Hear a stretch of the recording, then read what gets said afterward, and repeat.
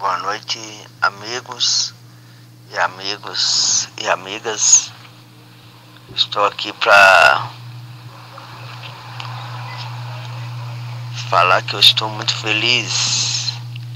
Um tempo atrás eu estava passando por um momento muito difícil na minha vida. Porque lá onde que eu, eu trabalho, o pessoal aqui tinha me dado o aviso, o meu chefe tinha me dado o aviso. Eu fiquei muito preocupado.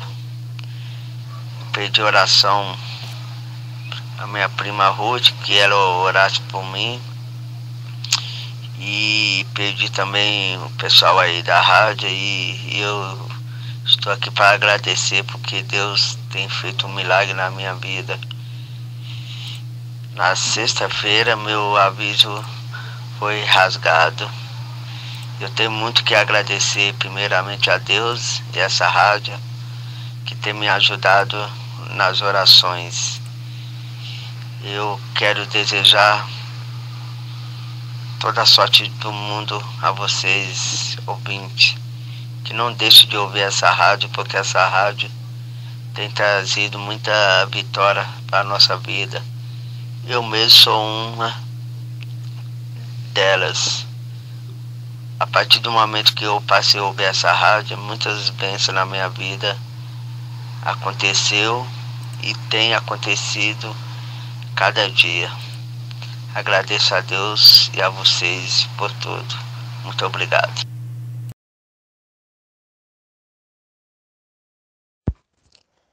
Boa tarde a todos, a paz do Senhor para os irmãos. É, eu sou a Amanda de Ribeirão Pires e eu tô aqui para contar um pouquinho da minha história, do que Deus fez na minha vida, para aumentar a fé de vocês e para a gente ver que para o nosso Deus não há nada impossível.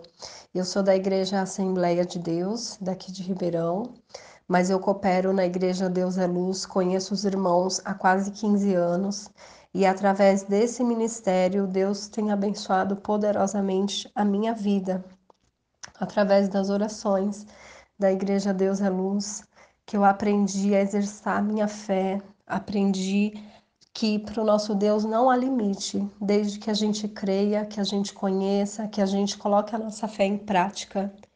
Então, irmãos, eu estou aqui, eu quero contar para vocês um pouquinho da minha história. Eu sou uma estéril mãe de filhos, para a glória de Deus. É uma história bastante longa, mas eu vou tentar resumir ao máximo e tentar explicar para que vocês entendam. Foi dois anos de muita luta, mas para mim pareceu uma eternidade, né? Mas graças a Deus por tudo, porque foi um grande aprendizado. É, em meados de 2006, eu tinha 20 anos, eu já era casada, já estava estudando e eu estava no meu quarto e eu comecei a pensar assim: logo, logo eu vou ter minha casa, logo, logo eu vou ter um carro. Comecei a planejar a minha vida, né? Aí eu pensei assim: logo, logo eu vou ter meus filhos. E quando eu pensei essa frase, uma voz muito terrível falou atrás de mim é, você sabe que não pode ter filhos. E eu me assustei na hora, eu olhei para trás, não tinha ninguém, eu estava sozinha no quarto. Eu fiquei com muito medo, porque era uma voz muito terrível, muito tenebrosa. E eu fiquei muito assustada, mas eu não comentei com ninguém, né? Aí eu fui no médico, fiz alguns exames e constatou que eu estava com alguns cistos. Na verdade, eu estava com muitos cistos e naquele momento o, meu médico passou para mim alguns remédios, né, para estar tá controlando e regularizando tudo. E passados uns dias eu estava no culto da Igreja Deus é Luz, num culto de domingo à tarde, e Deus revelou através do Espírito Santo para o pastor que o inimigo estava trabalhando para apodrecer o meu útero. E eu fiquei muito triste naquela hora, eu chorei muito, porque aí eu percebi que não era coisa da minha cabeça, que realmente aquela voz que eu tinha ouvido, aquilo que estava acontecendo era real. E que era uma armadilha do inimigo na minha vida, né? Mas eu fiquei triste e eu fiquei feliz ao mesmo tempo, porque Deus revelou e ele também revelou que estava me curando. E eu tomei posse, irmãos, da benção, eu tomei posse daquela cura. Aí eu terminei de fazer os tratamentos, né, com os remédios. Aí eu voltei no médico. Aí ele falou: ah, Amanda, agora o seu útero está limpo, tá limpo igual de uma menina. Você pode ficar tranquila. Aí, irmãos, eu fiquei muito feliz porque foi para a glória de Deus, sabe? Aí passou em média uns 4, 5 anos, né, que eu já, já tinha de casada. E aí, em abril de 2010, eu comecei a tentar engravidar. E eu pensei que seria fácil, né? Seria simples, não orei. Eu simplesmente falei para o meu esposo: vamos ter um bebê? Ele falou: vamos. E a gente começou a esperar, né? Mas aí passou um mês, dois meses, três meses e nada. Aí eu comecei a passar com um médico especialista em fertilização e ele falou assim: ó, como você toma remédio muito tempo, até seis meses é normal. Então vamos aguardar mais um pouco. E eu continuei aguardando e não consegui engravidar, né? Aí ele falou: ó, já vai completar quase um ano as nossas tentativas e e o jeito agora é a gente partir para os exames mais específicos, né? Então eu e meu esposo fizemos vários exames e nos exames não constatou nada. Aí ele também passou no médico dele e o médico dele falou assim: Ó, oh, você não tem nada, o problema deve ser na sua esposa. E eu passava no meu médico e o meu médico falava assim: Ó, oh, Amanda, você não tem nada, o problema é seu marido. Então, assim, a gente ficava perdida, a gente não sabia o que fazer. E aí, quando estava perto de um ano dessa luta toda, eu comecei a me humilhar perante a Deus, porque eu vi que se não fosse por Deus eu não ia conseguir. E aí, é, com um ano certinho, eu marquei a primeira inseminação artificial. Eu falei com o pastor tudo, nós já estávamos decididos a fazer essa inseminação e já estava tudo marcado, irmãos. Só que uma semana antes de eu fazer a inseminação, eu engravidei pela primeira vez, sozinha. E foi assim uma benção. Eu fiquei muito feliz, contei para todo mundo, para a família, meu esposo. Foi a maior felicidade, foi aquela alegria, né? Que vocês bem sabem como é. E aí teve um dia que eu estava saindo para trabalhar e eu pensei assim, graças a Deus que eu estou grávida, eu não vou precisar orar mais. Eu pensei exatamente assim. E, irmãos, quando eu pensei isso, na mesma hora eu me entristeci, porque Deus, Deus não se agradou daquilo que eu pensei, né? Aí eu me arrependi assim, da boca para fora, é, quis remendar a situação, mas não teve jeito. Naquela mesma semana eu consegui, comecei a sentir muitas dores, fui no médico e com seis semanas exatamente eu tive o meu primeiro aborto, né? Aí eu fiquei muito triste, chorei muito, fiquei quatro dias internada. Questionei muito a Deus, porque eu tinha esperado um ano de muita luta, de muita humilhação, de muitas idas e vindas. Mas eu sabia que no fundo, no fundo, eu tinha perdido aquela bênção porque eu havia jogado ela fora, né? Eu não soube agradecer a Deus da forma que eu precisava. Então, mas eu fiquei muito triste na hora, me revoltei demais Fiquei muito triste. E aí, depois de quatro dias internada, o médico chegou na porta do meu quarto e falou assim: Ó, você pode ir embora, a gente não tem mais o que fazer por você porque você não tem mais bebê. Aí eu liguei para minha mãe e falei: Mãe, me tira desse lugar. Aí eu comecei a chorar, minha mãe já entendeu tudo, foi me buscar no médico. E assim foi muito difícil. Mas depois que passou alguns dias, aí eu comecei a fazer umas campanhas lá na igreja de Mauá, na sede de Mauá. Na época eu, eu trabalhava em Arujá, então eu saía de Arujá, ia direto para Mauá, dava quase duas horas e meia de trajeto. Eu ia direto do serviço, às vezes sem tomar banho, mas mesmo assim eu estava certa da minha vitória, né? Então, quando a gente quer uma bênção, você se esforça, você corre atrás. E muitas vezes eu cheguei faltando poucos minutos de acabar o culto, mas eu não queria quebrar minha campanha. E a igreja toda orando por mim também, pastor Marcelo também orando por mim, a irmã Ruth orando por mim, o irmão Davi orando por mim, a igreja inteira em peso orando por nós, né, para que Deus desse a vitória. Aí eu fiz campanha, fiz votos também. Aí eu voltei no médico especialista. Eu e meu esposo repetimos todos os exames e não tinha nada de anormal. Eles não conseguiam descobrir qual que era o nosso problema. Aí Deus usando o pastor Marcelo em um dos cultos falou assim que ia me dar vitória, que eu tinha sofrido uma grande decepção, mas que era para eu ver que eu dependia totalmente do Senhor, mas que aquela vitória estava nas mãos de Deus, porque Deus tira, mas ele também dá a vida. E ele ia me dar essa bênção. Então, irmãos, eu tomei posse daquela palavra e passado duas semanas em média daquela profecia, eu engravidei de novo pela segunda vez. E foi a maior alegria de novo. Contei para todo mundo, foi a maior festa. Aí eu falei, Senhor, dessa vez eu vou fazer diferente. Eu vou fazer um dia de jejum em agradecimento a Ti por essa gravidez, né? Só que aí, irmãos, passou os dias e eu esqueci do jejum. Eu lembrava quando era na hora do almoço, aí de manhã eu esquecia de novo. Aí no outro dia eu lembrava, de manhã eu esquecia de novo. E eu não cumpri aquele voto que eu fiz. Aí teve um dia que eu estava voltando do serviço e Deus falou no meu coração: Eu vou tirar essa criança, você não cumpriu com o que você prometeu. Aí na hora, irmãos, eu comecei a chorar, eu estava dirigindo, mas eu comecei a chorar e eu falei: Senhor, eu não vou aguentar pela segunda vez tudo de novo. Eu falei isso, mas mesmo assim, irmãos, eu não cumpri com o meu voto. Passou uns dois dias, eu comecei a passar mal, fui para o hospital, fiz ultrassom e o bebê estava bem, estava com os batimentos cardíacos. Eu já estava de seis semanas de gestação.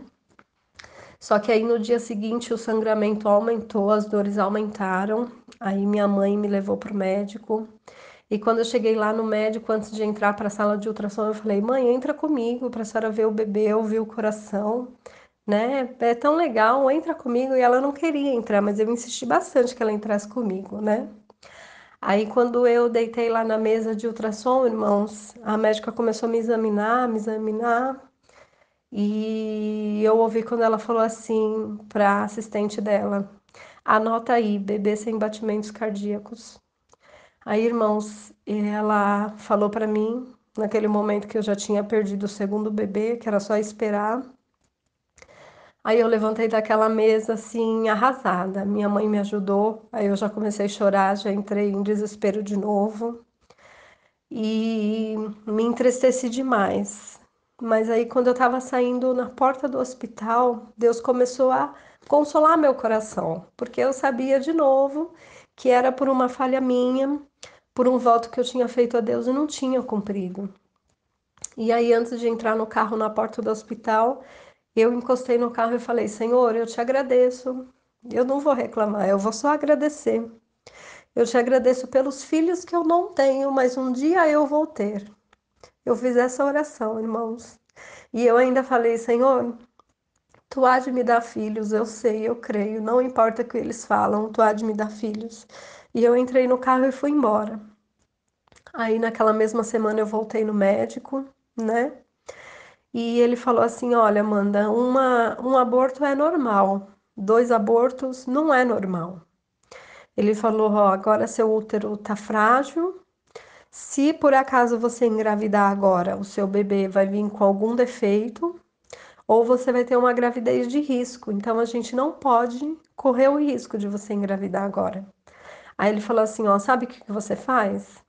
Vai trabalhar, vai estudar, esquece essa história de ser mãe.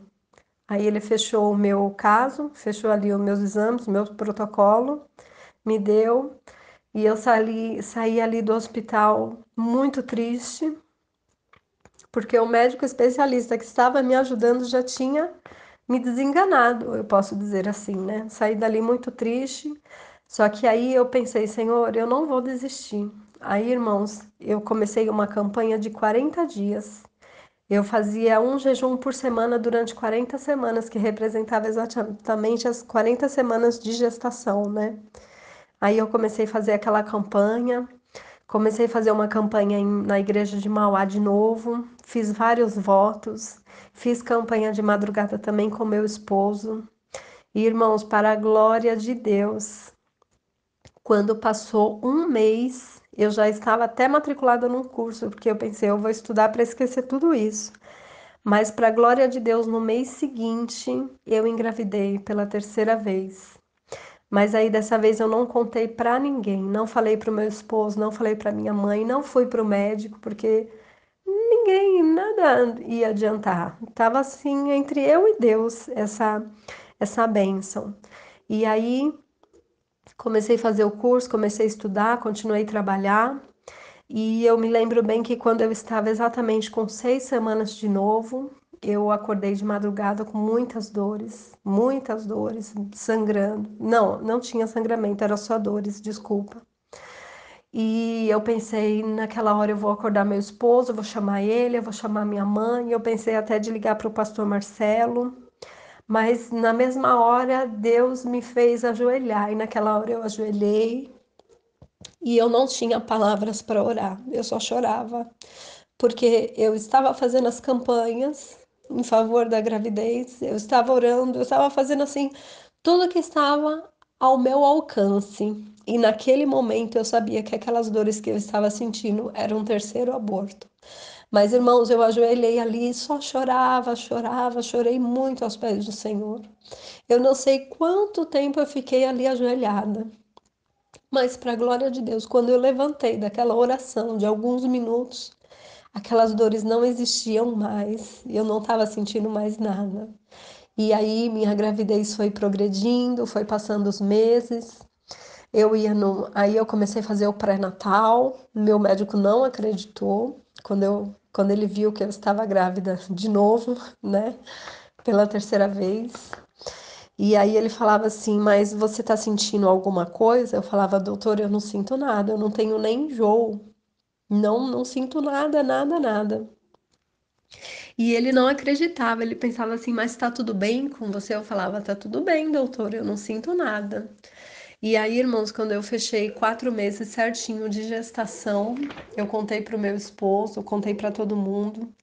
E assim foi a maior bênção. Aí as pessoas falavam assim: é, mas no começo agora da gestação você vai sentir enjoo, você vai ficar um pouco com sono.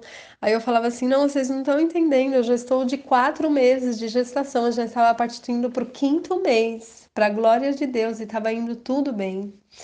E aí, irmãos, eu fazia os ultrassons, tudo, e graças a Deus a criança estava crescendo, estava tudo em ordem.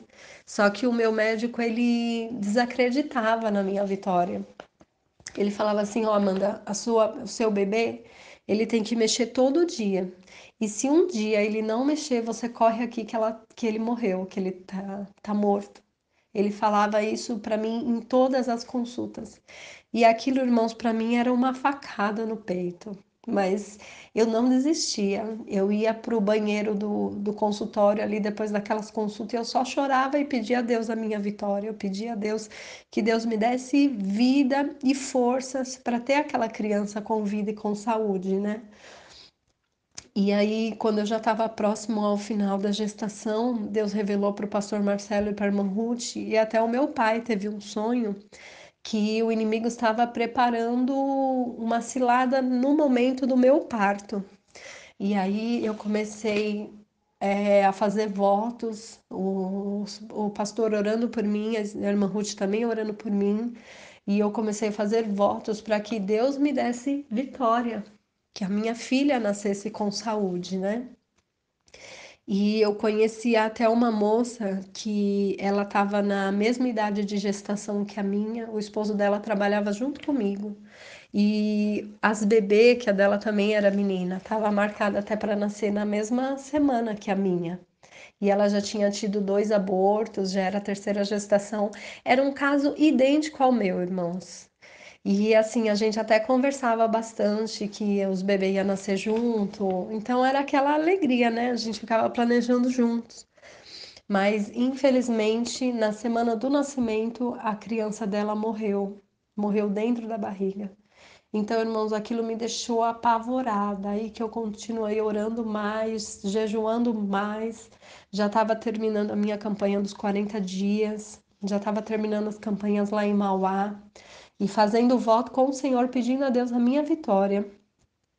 E para a glória de Deus, a minha filha nasceu em setembro de 2012. Foi um parto maravilhoso, assim como a minha gravidez foi abençoada, Deus me deu um parto maravilhoso. E no dia do nascimento dela, o próprio médico que me acompanhou em toda a minha trajetória, o próprio médico que falou: oh, esquece essa história de ser mãe, ele fez o meu parto para a glória de Deus. E no dia do parto ele falou: essa criança é um milagre. E eu falei, realmente é um milagre. E quando ele tirou a minha filha e ele deu aqueles tapinhos, ela começou a chorar. Eu falei, Senhor, eu te agradeço, porque ali eu tive certeza que ela estava bem, que ela estava viva e que finalmente o meu sonho era realidade. Então, para mim foi uma emoção enorme. E a minha filha foi crescendo, graças a Deus, muito inteligente, linda, saudável, para contrariar tudo que a medicina havia me falado. A minha filha nasceu perfeita, para a glória de Deus, assim como eu havia pedido para o Senhor, assim como ele tinha prometido para mim. Ele me deu uma filha perfeita. E aí, irmãos, a minha história não para por aí. Passado três anos, que a minha primeira filha já tinha, né? Aí começou a nascer no meu coração o desejo de ser mãe de novo. Só que aí eu pensei, eu vou no médico, vou fazer tudo que eu fiz, eu vou correr lá, vou falar para ele que eu quero engravidar de novo. Só que aí eu lembrei, irmãos, das humilhações, até mesmo da família, de pessoas que tinha e me humilhava só por eu não ter. Eu lembrei de todo aquele sofrimento que eu havia passado. Aí eu falei assim: não, eu não vou correr para o médico, eu vou correr para os pés do Senhor. Aí eu comecei a orar, comecei a pedir a Deus, né, que me desse a graça de ser mãe de novo. E aí eu comecei a tentar engravidar e nem mesmo meu esposo sabia, né? Eu guardei aquele segredo para mim. E aí, passados cinco meses que eu tava ali tentando engravidar em segredo, né, quietinha, eu estava num culto à tarde da Igreja Deus é Luz. Aí Deus usou o pastor Marcelo através de divina revelação. Ele olhou para mim e falou: "A irmã tá tentando engravidar, né?" Aí eu pensei assim, meu Deus, só Deus sabia. Foi através de Deus mesmo aquela revelação. Aí eu comecei a chorar na hora e Deus usou o pastor e falou: ah, Eu estou abrindo a sua madre de novo.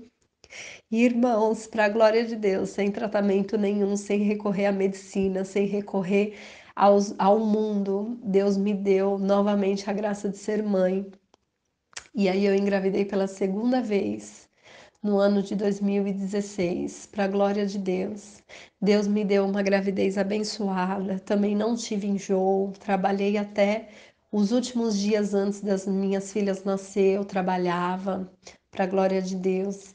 E aí, quando foi fevereiro, a minha filha nasceu, fevereiro de 2016, ela nasceu, a minha segunda filha, para a glória de Deus. Nasceu perfeita, saudável, linda, porque Deus é fiel, irmãos. Então hoje eu glorifico a Ele porque eu tinha só 25 anos quando tudo isso aconteceu, né? Então, para a medicina, eu estava no auge da vida fértil, né? Não tinha o porquê de ter tido tantos problemas. Mas Deus é fiel. Assim como eu pedi tudo que eu pedi a Ele, Ele me deu. E se ele fez por mim, se Deus fez tudo isso por mim, ele também fará por você.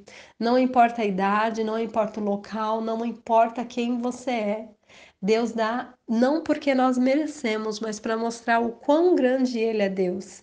E eu fico muito feliz, muito feliz mesmo porque eu um dia conheci o Ministério Deus é Luz, porque Deus está em todo lugar, irmãos, pode ter certeza que onde Deus habita, milagre acontece.